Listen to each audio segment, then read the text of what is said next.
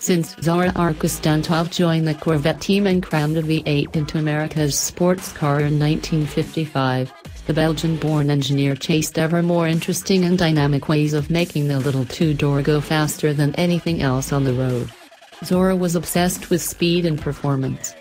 Aside from setting a production car record at Pikes Peak in the Corvette, taking a standing mile record at Daytona and starting the Grand Sport Racing program, Zora consistently worked on mid-engine prototypes of Corvettes during his career. Despite having a mid-engine prototype of some form for almost every generation of the Corvette, there has never been a production car wearing legendary cross flags and carrying the engine behind the driver. That all looks to change soon with the rumored Corvette Zora ZR1. This new car is rumored to use the Zora name to make it a separate model from the current Corvette family, and when it debuts, it will be unveiled as an 8th generation C8 car.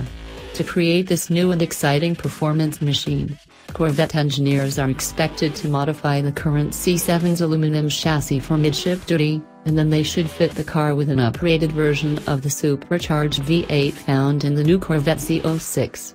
The new Zora is expected to carry a price of more than $150,000, horsepower ratings in excess of 700 ponies and a top speed well above 200 miles per hour General Motors is no longer building a bargain performance monster.